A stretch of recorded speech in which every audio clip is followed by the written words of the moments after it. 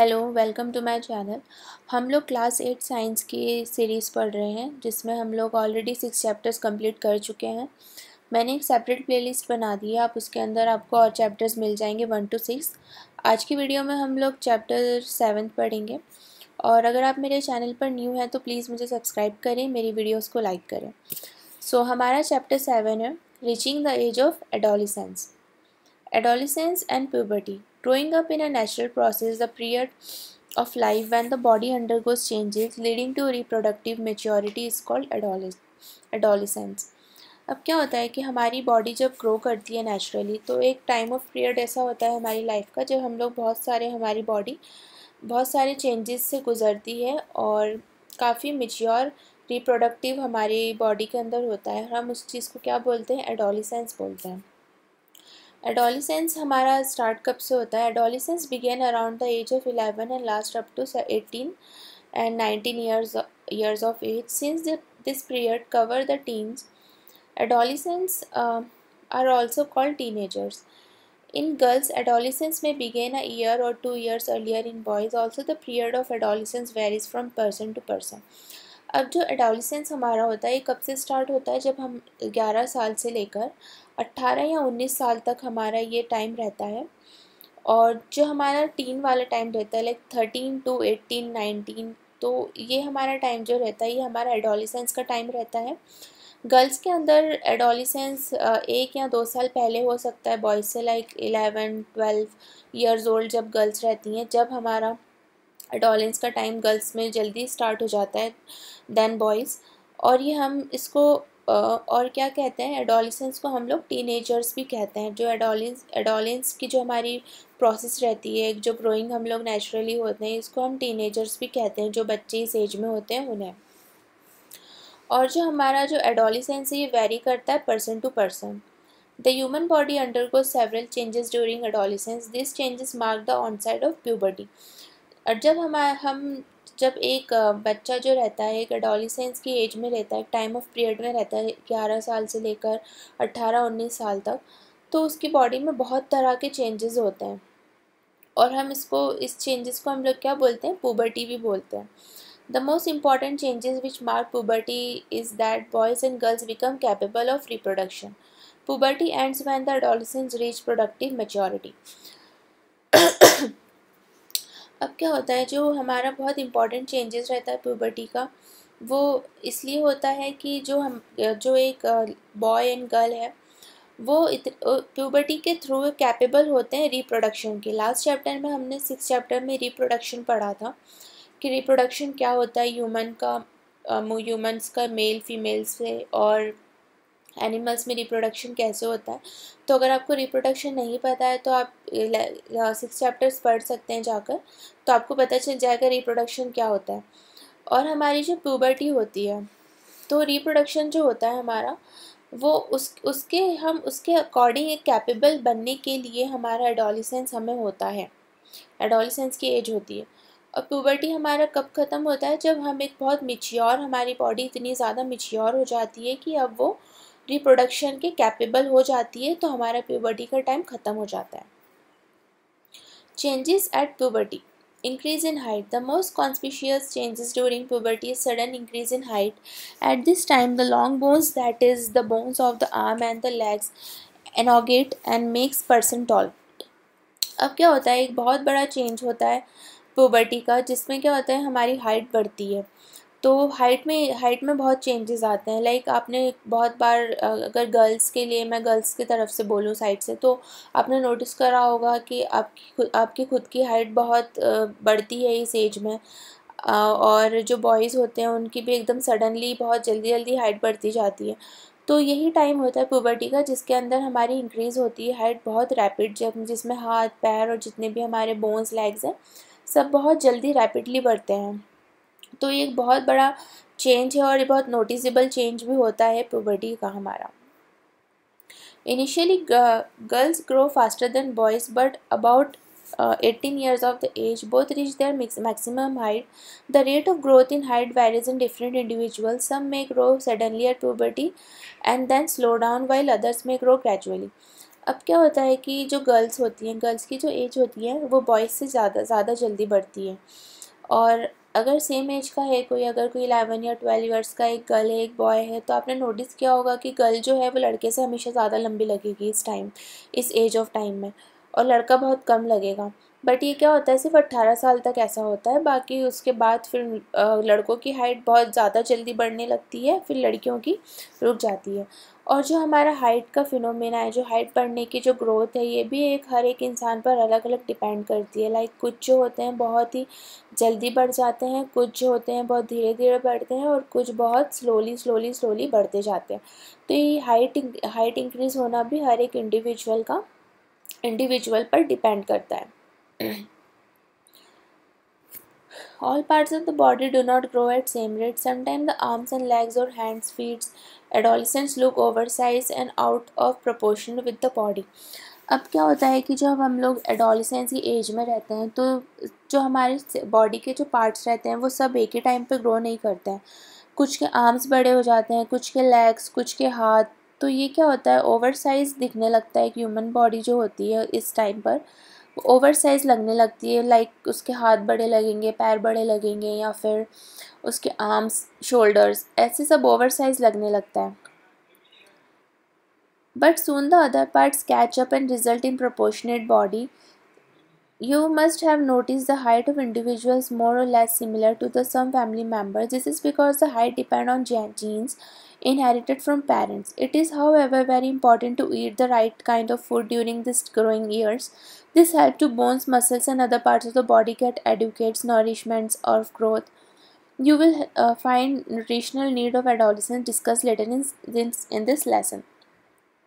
तो क्या होता है कि जो हमारी हाइट होती है आपने नोटिस करा होगा कि हर एक इंडिविजुअल की हाइट जो होती है कुछ कुछ सिमिलर ही होती है अपने फैमिली मेंबर से मोस्टली हमारी हाइट जो होती है वो हम हमारे पेरेंट्स से मिलती है हमारे पेरेंट्स से इनहेरिट होती है हमें हाइट।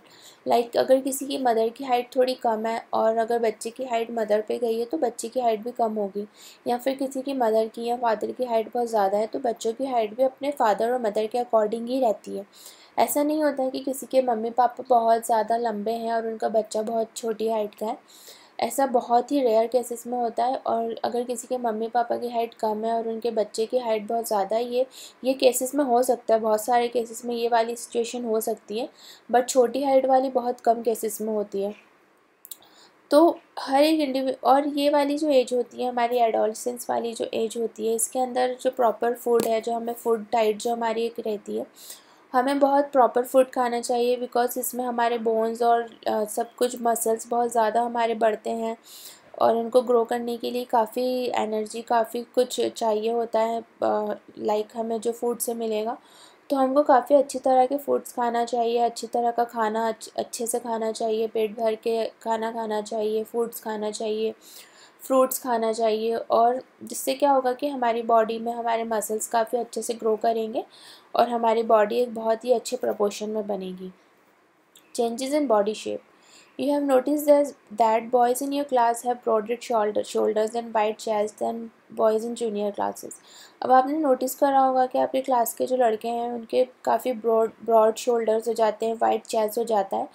और आपके जो जूनियर्स बॉयज़ होते हैं, उनके, वो लोग वैसे नहीं दिखते हैं जैसे आपके क्लास के बॉयज़ दिखते हैं। This is because they have entered the age of puberty when shoulders generally broaden as result of growth in girls girls regional below the waist become wider boys के अंदर क्या होता है कि जब बॉयज़ एक अपनी प्यूबर्टी में रहता है तो उनके शोल्डर्स चेस्ट ये सब बहुत ग्रो करते हैं। वैसे ही गर्ल्स में क्या होता है कि उनका वेस्ट का जो लोअर पार्ट रहता है, वो ग्रो करता है, वो बड़ा होता है। In boys the muscles of body grow more prominently than in girl changes occurring adolescence boy कर डिफरेंटली अब जो बॉयज़ की जो बॉडी चेंजेस रहते हैं, वो बहुत धीरे धीरे होते हैं गर्ल्स से। लाइक गर्ल गर्ल्स के अंदर बहुत ही जल्दी जल्दी चेंजेस होते हैं और उनकी बॉडी काफ़ी ज़्यादा मिच्योर हो जाती है, उनकी, जब तक उनका मिच्योर होने तक। बट बॉयज़ के अंदर बहुत ही स्लोली स्लोली होता है और जो हमारा एडोलिसेंस रहता है, ये बहुत ही अलग तरह का होता है गर्ल्स एंड बॉयज़ में। Voice changes at puberty the voice box और larynx begins to grow boys develop large boys voice box the growing voice box boys can be seen as prominent parts of the throat called Adam's apple In girls, the larynx is hardly visible from the outside because it is very small in size. Generally, girls have high patches voice while boys have a deep voice. In adolescence boys, sometimes the muscles of growing boy uh, box out of the control and boys become hoarse. This state may remain for few days and after which becomes boy voice become very normal. अब क्या होता है कि जब हमारी जब हम लोग अपनी प्यूबर्टी में या डॉलिसेंस के टाइम पर होते हैं तो हमारी वॉइस भी बहुत चेंज होते हैं वॉइस में भी काफ़ी चेंजेस आते हैं। तो वॉइस के अंदर क्या होता है वॉइस बॉक्स होता है एक, जो आपने एक नोटिस करा होगा हमेशा, जो इस इस टाइम ड्यूरेशन में जो बॉयज़ रहते हैं, उनके उनके थ्रॉट पर कुछ इस तरह का जो एक डायग्राम में दे रखा है सेवन पॉइंट टू में, कुछ इस तरह की एक बोन दिखती है। इस बोन को हम लोग क्या बोलते हैं? एडम्स एप्पल बोलते हैं। और यही हमारे बॉयज़ के अंदर एक बहुत बड़ा रीज़न होता है उनकी वॉइस चेंज का।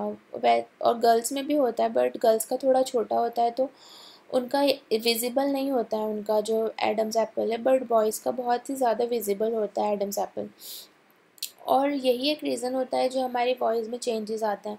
लाइक like गर्ल्स की जो वॉइस रहती है, वो बहुत ही ज़्यादा पैच पैच वॉइस रहती है और बॉयज़ की जो वॉइस रहती है, बहुत डीप वॉइस रहती है। Increase activity of sweet and sebaceous gland. During the puberty of secretion of sweet glands and sebaceous gland, increase uh, many young people get acne, pimples on the face and time because the increased activity of this gland in the uh, in glands in the skin. अब जो हमारे increase क्या होता है sweet and sebaceous gland जो हमारी body में एक रहता है जिससे हमें हमें स्वीट पसीना बहुत ज़्यादा आता है इस एज में और एक ऑयल एक ऑयल टाइप का हमारी बॉडी में एक सिबैकियस ग्लैंड रहता है, जिससे वो ऑयल इंक्रीज़ करता है और उससे ऑयल बहुत ज़्यादा रिलीज़ होता है। तो इस एज में पिंपल्स भी बहुत ज़्यादा होते हैं और हमारी जो स्किन की एक्टिविटीज़ और जो ग्लैंड्स रहते हैं, वो भी बहुत ज़्यादा ग्रो करते हैं, जिसकी वजह से स्किन से हमारी बहुत ज़्यादा स्वेटिंग भी होती है और हमें ऑयल भी रिलीज़ होता है, जिससे हमें पिंपल्स भी होता है। Development of sex organs At puberty, male sex organs like testes and penis develop completely. The testes also began to produce sperm. In girls, the ovaries enlarge and eggs begin to mature. Also, ovaries start releasing mature eggs. और जो इस ये वाली as जो हमारी रहती है puberty की, इसके अंदर क्या होता है सेक्स ऑर्गन जो हमारा होता है, वो भी बॉयज़ के अंदर डेवलप हो जाता है कम्प्लीटली टेस्टिस और पैनिस उसकी। और गर्ल्स के अंदर क्या होता, और इतना कैपेबल हो जाता है उसका सेक्स ऑर्गन बॉयज़ के अंदर कि वो एक स्पम प्रोड्यूस करना स्टार्ट कर देता है। और गर्ल्स के अंदर क्या होता है कि गर्ल्स के अंदर जो ऑवरी रहती है, उनकी वो बहुत इनलार्ज होने लगती है, बढ़ने लगती है, और जो एग्स होते हैं, वो मिच्योर होने लगते हैं। और जो मेच्योर एग होते हैं, वो रिलीज़ होने लगते हैं और जब मेच्योर एग एक रिलीज़ होता है एग जो गर्ल्स के अंदर रहता है, उनकी ओवरी से जो रिलीज़ होता है तो उस उस एग रिलीज़ उस मेच्योर एग रिलीज़ होने की वजह से ही गर्ल्स के अंदर पीरियड्स आते हैं। Reaching mental intellectual and emotional maturity adolescence is also a part period of changes in person by way of thinking, adolescents are more independent than before and also self conscious अब हमारी जो adolescence की जो as होती है इस as में हमारी थिंकिंग भी काफ़ी चेंज होती है। लाइक like पहले जो हम जैसे सोचते थे, अब हम वैसा नहीं सोचते, अब हमारी थिंकिंग भी बहुत ज़्यादा चेंज होने लगती है। लाइक like इस एज में ऐसा होता है कि जो हम बच्चे बच्चों जैसा भी सोचते हैं, बड़ों जैसा भी सोचते हैं बट हम बीच की एज में रहते हैं जहाँ पर हम कभी कभी एज अ बहुत मिच्योर एक्ट करेंगे, कभी हम बहुत बच्चों जैसा एक्ट करेंगे तो हमारी जो इंटेलेक्चुअल डेवलपमेंट है इस एज में वो भी बहुत ज़्यादा चेंज होता जाता है। और चेंज होते होते होते होते एक बहुत ही इंटेलेक्चुअल माइंडसेट एक क्रिएट हो जाता है हमारा। और यही एज होती है जिसके अंदर हम लोगों का, हमारा जो ब्रेन रहता है वो काफ़ी उसकी बहुत ही ग्रेट कैपेसिटी हो जाती है लर्निंग की।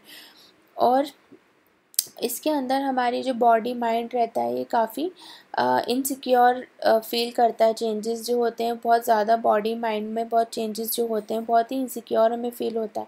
बट ये इनसिक्योर फील करने का कोई रीज़न नहीं है क्योंकि ये बहुत ही नेचुरल ग्रोइंग पार्ट होता है एक, हर एक ह्यूमन लाइफ का तो सभी को इस फेस से हमें गुजरना है तो वरीड होने की कोई ज़रूरत नहीं है।